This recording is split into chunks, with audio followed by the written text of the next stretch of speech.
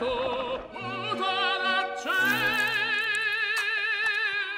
di pensiero 빅보 국물 요리 연구 개발 담당하고 있는 호텔 호텔 한식 담당으로 근무를 하다가 아, 셰프님이셨구나. 근데 그 육개장 맛집들이 굉장히 많아요. 다 가보셨습니까? 그 중에 이제 맛있는 데가 더 맛있게 먹는 팁 같은 거 아까 뭐 좀 사... 사골곰탕을 활용해서 아, 예. 고기 국수를 맛. 어, 왜 이런 걸 생각을 못했을까? 그러게요. 안에 연구 개발을 담당하고 있는 최소망입니다. 어, 즉석밥에 여러 가지 반찬은 뭐 무조건 갓 지은 밥에는 김치부터 다 사실 그 스- 거기다 달걀 하나 아 그거는 진짜 거기다가 또 김. 아. 저도 스팸을 좋아해요. 두껍게도 썰어보고 두껍게도 썰어보고 두껍게 썰어서 겉을 이렇게 바삭하게 구웠을 때 제일 맛있더라고요.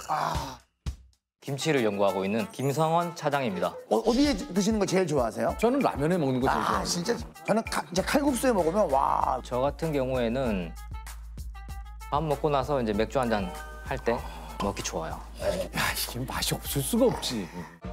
마케팅을 총괄하고 있는 서동순이라고 합니다. 이렇게 10년 만에 출시한 그 조미료 어땠습니까? 엄청난 정말 큰 꿈을 갖고 시장에 딱 론칭을 했는데 1년 반 만에 자진 철수를 하죠. 어 그래요? 네.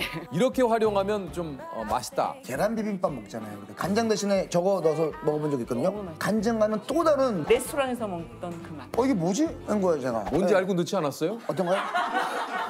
전략살표 근무하고 있는 박세영 팀장입니다. 1년에 한 36만 캔? 적지 않은 양이에요. 참치 김치찌개에다가 달걀 후라이 하나.